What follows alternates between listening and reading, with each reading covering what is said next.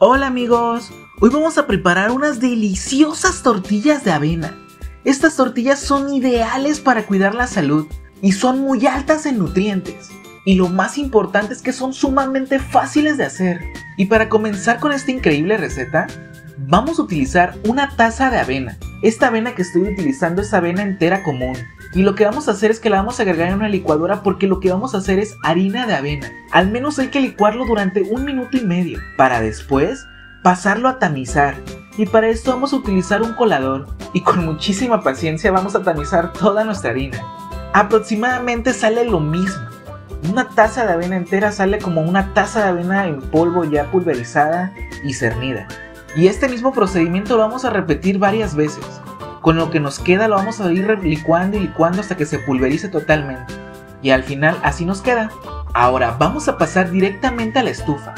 Y en la estufa vamos a agregar una taza de agua en una cacerola. Junto con una media cucharadita de sal. Lo pondremos a fuego medio y lo comenzaremos a disolver muy bien. Y cuando comience a hervir nuestra agua, bajaremos el fuego y agregaremos directamente toda nuestra avena y comenzaremos a revolverlo hasta que se forme una tipo de masa. Y aún así lo seguiremos moviendo por unos segundos. Y si a ti también te están gustando estas recetas saludables, no dudes en compartirla. Eso me ayuda muchísimo en verdad. Y me ayuda a poder seguir subiendo este tipo de contenido para ustedes. Y como siempre, cualquier duda que tengas, no dudes en dejármela en los comentarios. Con muchísimo gusto te la responderé. Y así es como debe de quedar y ahora aún así sigue un poco caliente. Dejaremos que se enfríe un poquito, pero no mucho, solo lo que soporte nuestra mano. Porque hay que amasarlo durante unos 2 minutos para que nuestras tortillas queden bien suavecitas. Después formaremos un cilindro, más o menos como este. Y después con ayuda de una espátula lo vamos a comenzar a cortar, más o menos en partes iguales. Primero comenzando por la mitad y cada mitad por la mitad. Y después con ayuda de nuestras manos vamos a formar unas bolitas. Y antes de que se me olvide, hoy voy a mandar unos saludos especiales para Akire Cárdenas y José Guadalupe Rochín de Sonora, México. Muchísimas gracias por todo su apoyo. Y si a ti te gustaría que te mandara un saludo especial en nuestro próximo video, no dudes en dejarme en los comentarios desde qué ciudad nos miras.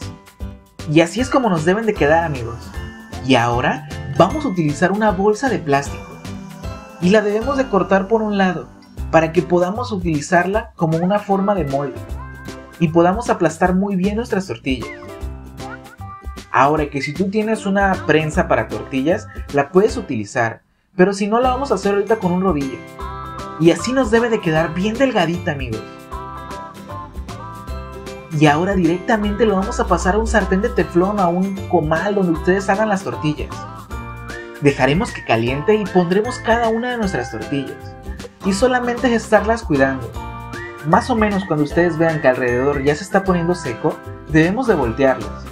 Y después vamos a volverlas a voltear para que se comiencen a inflar y así te van a salir unas perfectas tortillas. Y que aparte son sumamente saludables y muy ricas la verdad. Así que si quieres cuidar tu salud, te invito a que prepares estas deliciosas recetas. También son ideales para las personas con diabetes. También son muy buenas para cuidar nuestra salud y son ideales para las personas diabéticas. Ahora sí se podría decir que esta tortilla no engorda amigos. Y si te gustó esta receta, no dudes en seguirnos, tanto en YouTube como en Facebook, Snacks en Minutos, y así no te vas a perder de ninguna de nuestras recetas. Y muchísimas gracias a todos los que llegaron hasta el final del video. Mi nombre es Edgar y nos vemos hasta el próximo amigos.